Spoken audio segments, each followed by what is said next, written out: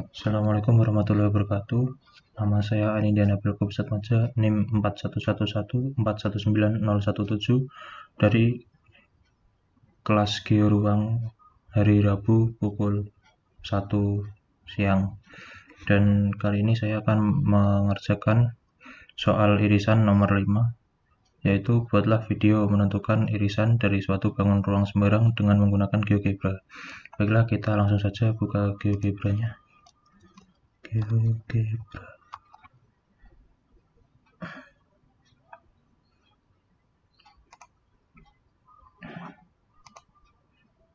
Nah, setelah terbuka GeoGebra-nya, kita pindah dari mode atau perspektif grafik grafik menjadi ke 3D grafik untuk menentukan uh, membuat bangun ruang yang akan kita buat kemudian saya lebih memilih untuk menghilangkan plane dan sumbunya dan lebih menggunakan ke apa grid atau ya ini dia.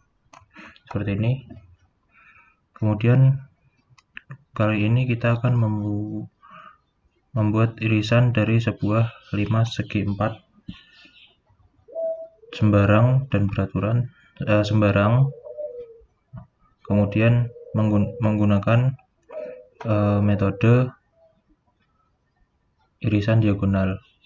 Pertama-tama kita akan membuat sebuah bidang sebuah bidang segi 4 dengan titik sembarang. Kita ambil titik A di sini kemudian B di sini C di sini dan D di sini. Oh kita pindah D nya menjadi di sini.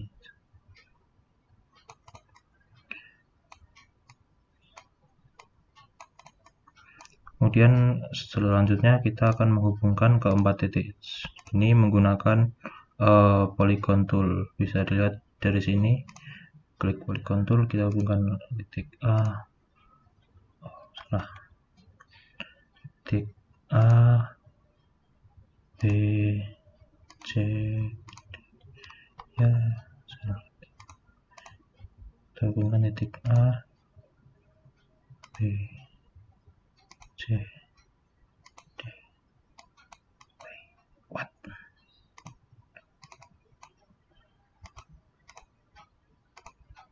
nah. C D dan A lagi. Seperti yang dapat dilihat bahwa telah terbentuk sebuah segi empat sembarang. Kemudian untuk membangun limas darinya kita membutuhkan uh, alat atau fungsi dari GeoGebra yaitu extrude to pyramid. Kita klik bangun datarnya ini. Kemudian kita tentukan tingginya kita anggap saja 6 kemudian ya dapat dilihat bahwa 5 segi 4 yang kita inginkan sudah terbentuk.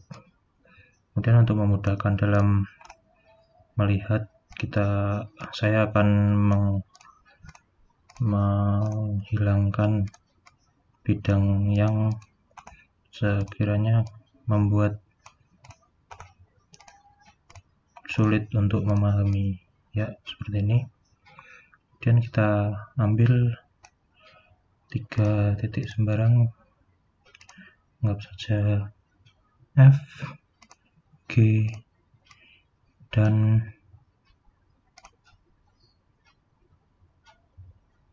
H di sini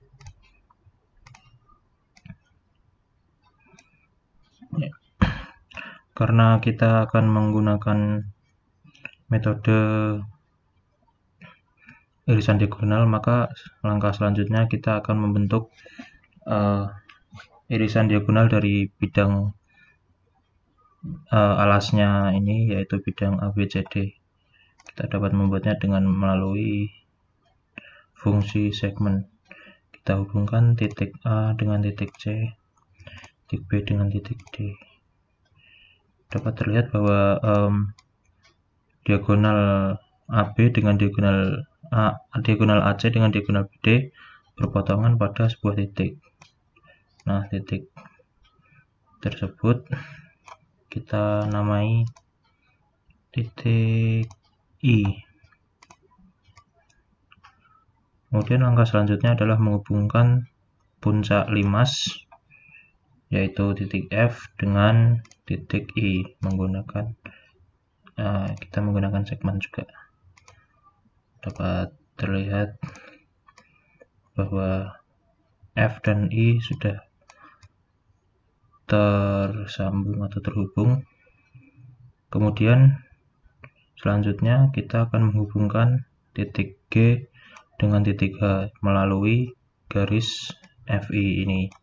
Kita dapat membuatnya dengan segmen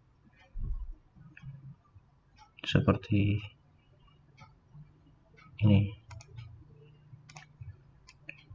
Dapat terlihat bahwa G dan H melalui uh, apa G dan H terhubung melalui garis FI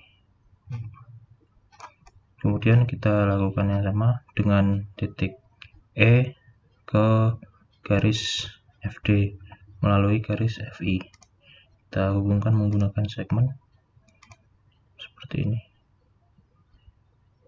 Melalui titik yang sama yaitu tadi